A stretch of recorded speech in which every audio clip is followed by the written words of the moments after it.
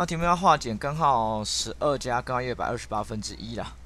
那第一步，我们先把分母来做处理成功化简。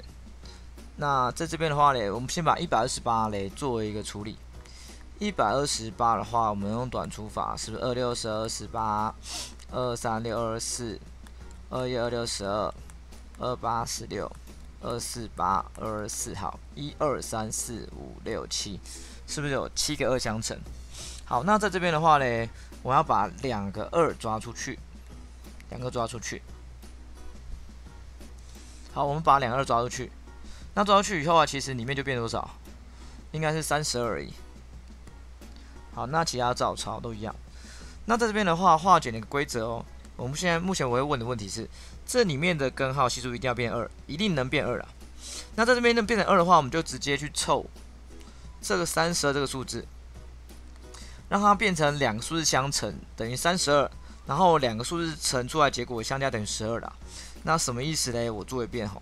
三十二是可以一乘以三十二，或者二乘以十六，或者是四乘以。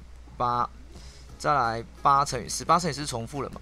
好，那我们从这三组去找，一加三十二，我们等于十二，没有吧？这个划掉。那二加十六，我们等于十二，其实也没有嘛。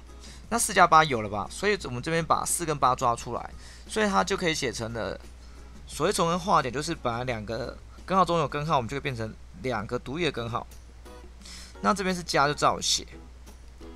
那在这边我们找到我们这一组对不对？那习惯上，我们把大写前面，小写后面，根号八加根号四，那写成这样子以后啊，这时候我们的分母是不是就没有两个根号了？是不是就可以变成了二根号二加二分之一？好，那再来啊，我们要做的下一个动作叫做分母有理化了。怎么让两边呢都乘上什么相减？所以我们都乘上减的哦，所以都乘二跟二减二。二根号二减二，好，那这样的话，我们下一步就可以操作了。那是不是就变成了二根二平方减掉二平方，所以变成二根号二的平方减掉二的平方？那上面照写嘛，二根号二减二。那在这边的话，变成八减掉四，那上面是二根号二减二。好，那再来往下。八跟四相减是四，所以四分之二根号二减二。好，再来还没完哦。整个式子里面呢，是不是都是二的倍数？所以大家一起除二，叫约分嘛。大家都要做，全部都要做。所以我们做一步啊，可以往下整理一下，变成二分之根号二减一。好，这是我们要答案。OK。